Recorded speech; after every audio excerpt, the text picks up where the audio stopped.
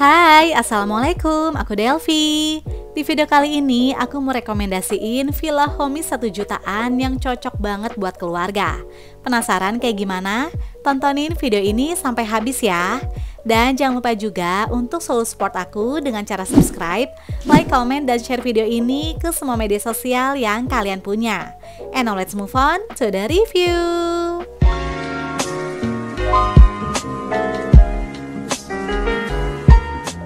Kali ini aku mau staycation di villa yang suasananya tuh homey banget, yaitu Smallville yang berlokasi di Kampung Batu Kasur Kubang, Batu Layang, Cisarua, Bogor. Smallville ini termasuk salah satu villa baru yang mulai disewakan untuk publik di akhir Desember 2022 lalu, gengs. Jadi baru buka sekitar lima bulanan lah.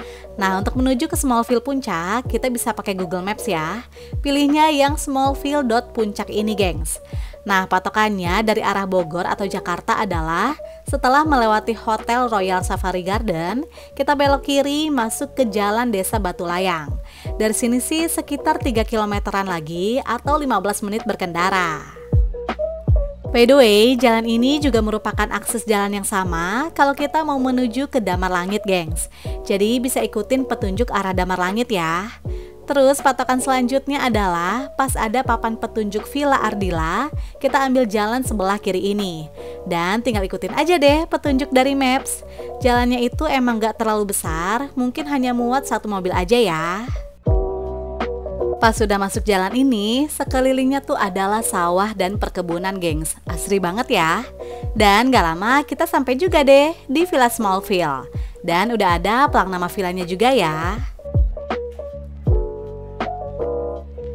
Sesuai dengan namanya, yaitu Smallville, ukuran villa ini emang gak terlalu besar gengs, dengan kapasitas 6-10 orang. Dan villa ini segmen utamanya adalah untuk keluarga ya. Di bagian depan terdapat area parkir yang luas dan bisa menampung hingga 7 mobil. Gak jauh dari area parkir, terdapat musola yang bisa kita pakai. Musola ini ukurannya juga imut-imut, namun yang paling penting adalah kebersihannya tetap terjaga.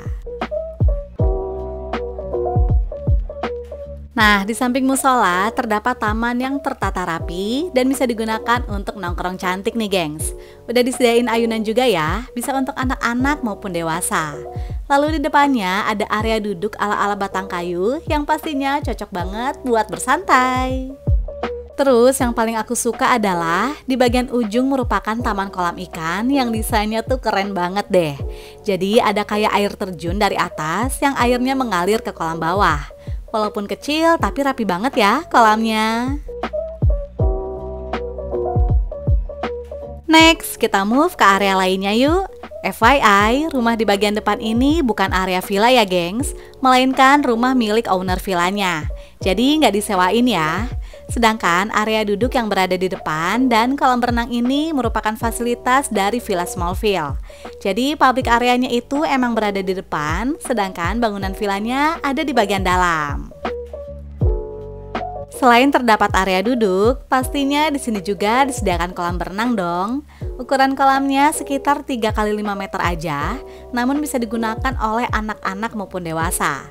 Karena terdapat dua kedalaman yaitu 60 cm untuk anak-anak dan melandai ke bawah hingga kedalaman 100 cm untuk dewasa. Oh iya, untuk anak-anak yang nggak bisa berenang, tenang aja gengs, karena di sini juga udah disediain dua buah pelampung ya. FYI, sebenarnya di sini adalah salah satu spot terbaik untuk menikmati view Gunung Gede Pangrango loh. Terutama di pagi hari, kalau cuacanya lagi bersahabat, bisa kelihatan jelas kayak gini, gengs. Masya Allah, keren banget ya. Oke, okay, tadi aku udah bahas fasilitas outdoor yang ada di Smallville. Nah sekarang aku mau masuk lagi ke dalam untuk tunjukin area villanya gengs. Jadi Smallville ini terdiri dari dua lantai Di mana lantai atas adalah public area Sedangkan lantai bawahnya merupakan kamar tidur dan dapur. Jujur pas masuk ke area villanya tuh suasananya bener-bener homey dan nyaman banget loh. Fix sih bakal betah banget staycation di sini. Dan sekarang baru deh kita mulai Villa Tour Aku bakal tunjukin dulu di area atasnya ya. Di samping kiri ini merupakan toilet, lalu sebelahnya merupakan public area. Di lantai atas hanya ada satu buah toilet aja, gengs. Dan bisa dibilang ini tuh semacam powder room karena nggak ada area shower untuk mandi. Jadi hanya ada wastafel dan kloset. Next, kita melipir ke public area yang terdiri dari teras, lalu di sebelahnya ada living room sekaligus dining room dan entertainment room. Nah, di paling ujung merupakan kids playground. Jadi walaupun areanya nggak terlalu besar, namun fasilitasnya lengkap juga ya.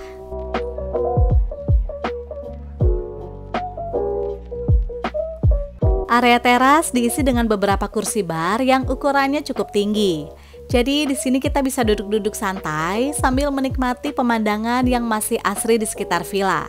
Suasananya tuh tenang banget deh dan udaranya juga seger banget, gengs.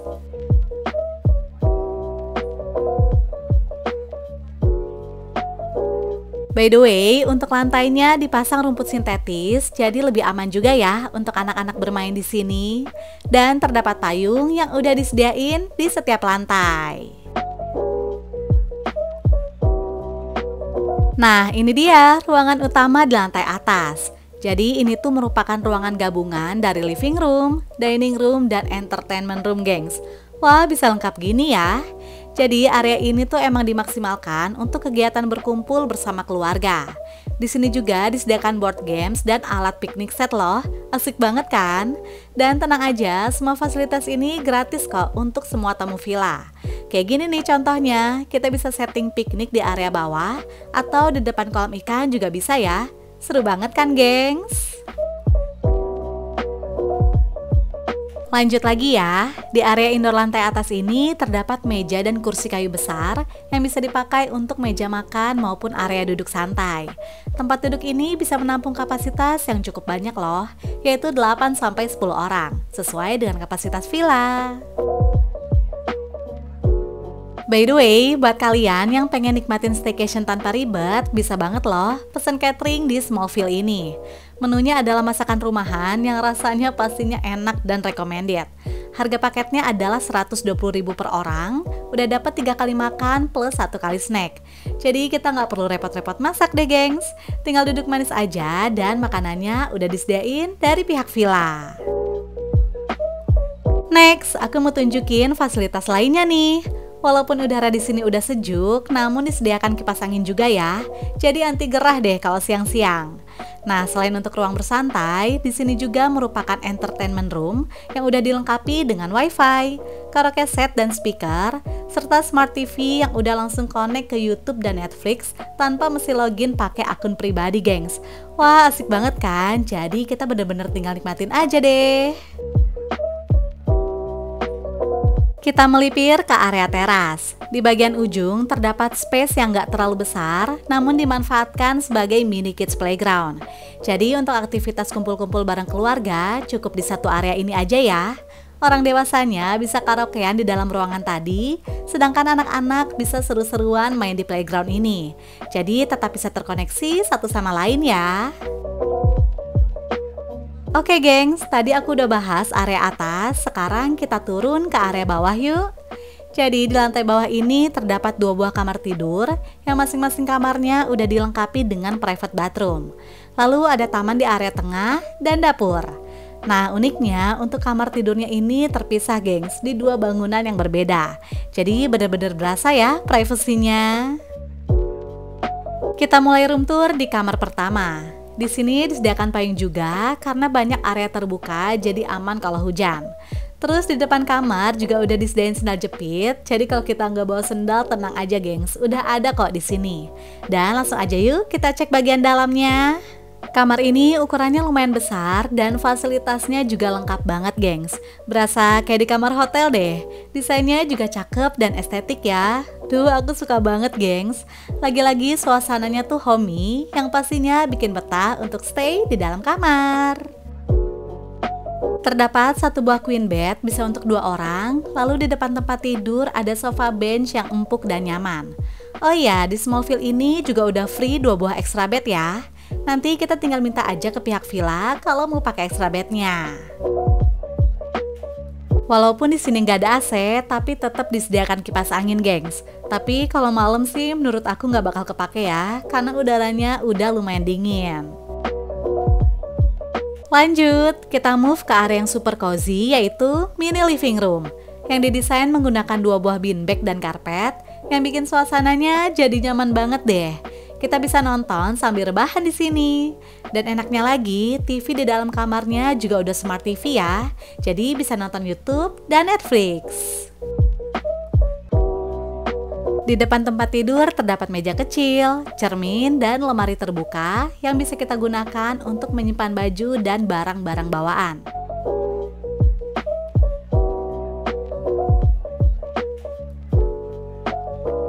Untuk di lantai bawah ini nggak ada kamar mandi sharing, gengs. Jadi kamar mandinya itu hanya disediakan di setiap kamar tidur.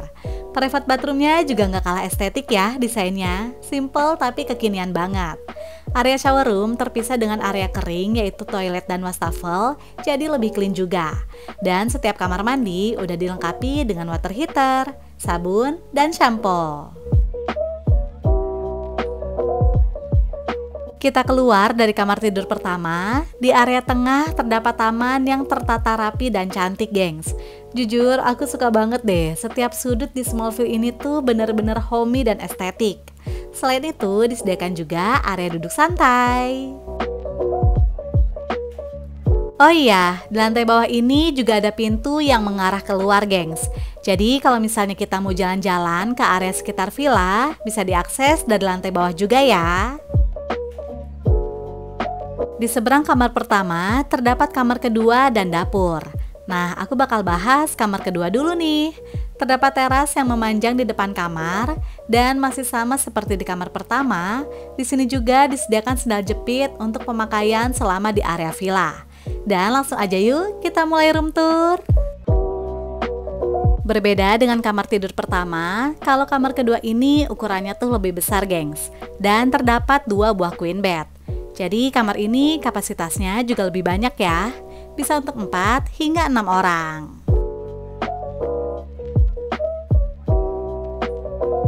Terus kalau untuk fasilitas kamar sih bisa dibilang hampir sama ya dengan kamar sebelumnya. Terdapat mini living room yang dilengkapi dengan dua buah kursi dan satu meja. Lalu di depannya ada karpet dan bantal untuk leye-leye di depan TV.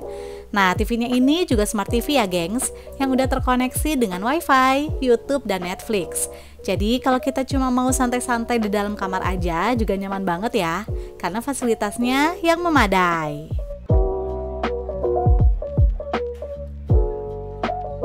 Di sisi lainnya juga udah disediakan lemari terbuka, kipas angin, meja rias, dan laundry bag.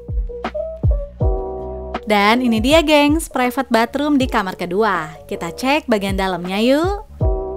Ukuran kamar mandinya juga luas ya, dengan fasilitas yang pastinya lengkap.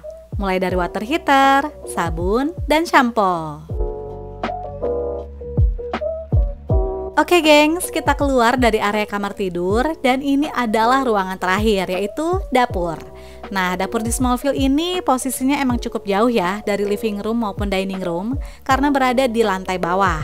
Namun untuk fasilitasnya sih udah nggak perlu diraguin lagi deh karena super komplit gengs. Mulai dari dispenser, lalu ada peralatan makan seperti gelas, microwave, rice cooker, bahkan teh, kopi, dan gula juga ada. Terus di bagian bawah kabinet merupakan tempat piring-piring, lalu ada sendok, spatula, hingga peralatan masak. Jadi kalaupun misalnya kalian nggak pesen catering di sini, tenang aja ya, tetap bisa masak kok. Dan tinggal bawa aja bahan makanannya. Di sebelah kiri, tepatnya di samping pintu dapur, masih ada space kecil yang digunakan sebagai area untuk cuci piring. Terus di sisi kanan disediakan alat barbecue yang bisa kita pakai, gengs. Tapi tidak termasuk arang ya. Ini dia suasana sore hari dari teras atas. Udaranya udah makin sejuk dan suasananya tuh tenang banget, gengs.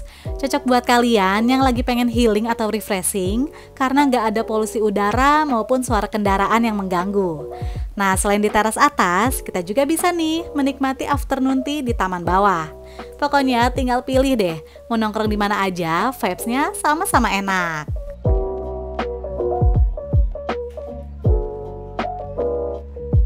Terus nggak lupa juga kita dikasih snack sore dan kali ini aku dapat pisang goreng wijen yang enak banget gengs. Crunchy di luar tapi lembut dan manis di dalam. Seperti ini suasana malam hari di Villa Smallville. Untuk pencahayaannya nggak usah khawatir bakal gelap ya. Karena ternyata banyak lampu-lampu gantung yang dipasang di area taman. Bikin suasananya makin cantik deh. Terus warna lampu yang dipakai juga warna kuning, jadi terkesan lebih warm atau hangat. Nah, di malam harinya, karena aku pesen catering, jadi sekitar jam tujuhan tuh udah dateng gengs. Menunya juga masih sama ya, menu rumahan dengan rasa yang enak. Ditambah suasana hangat berkumpul bersama keluarga, jadi makin perfect banget ya. Alhamdulillah perut udah kenyang. Abis itu baru deh aku lanjut lagi seru-seruan kayak karaoke dan nonton bareng di sini. Untuk udara malam harinya lumayan dingin ya gengs, yaitu sekitar 21 derajat celcius. Jadi kalian bisa bawa jaket untuk jaga-jaga ya. Good morning gengs Masya Allah tabarakallah Pagi hari ini aku disambut sama view Gunung Gede Pangrango yang gagah banget Nah, abis itu kalau kalian mau jalan-jalan pagi untuk explore area sekitar bisa banget ya. Karena ternyata suasananya masih asri banget, gengs. Banyak pepohonan dan sawah hijau yang memanjakan mata. Adem banget ya. Terus lanjut aku sarapan yang masih disediakan juga oleh pihak villa dan kali ini menunya favorit aku banget nih, yaitu nasi uduk lengkap dengan telur balado, tempe orek dan ayam goreng. Wah, lengkap banget sih ini. Udah pasti lahap ya makannya. Oke gengs, tadi aku udah review lengkap semua fasilitas yang ada di Smallville. Pasti kalian pada penasaran kan, berapa sih harga menginap di sini? Kalau gitu langsung aja yuk kita bahas. Berikut info lengkap harga menginap dan fasilitas di Smallville.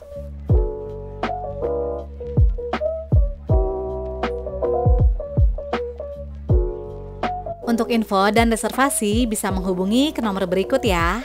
Dan jangan lupa juga untuk follow Instagram mereka.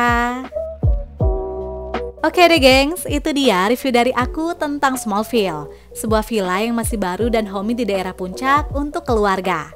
Semoga informasi ini bermanfaat dan menginspirasi kalian ya. And see you on my next video. Bye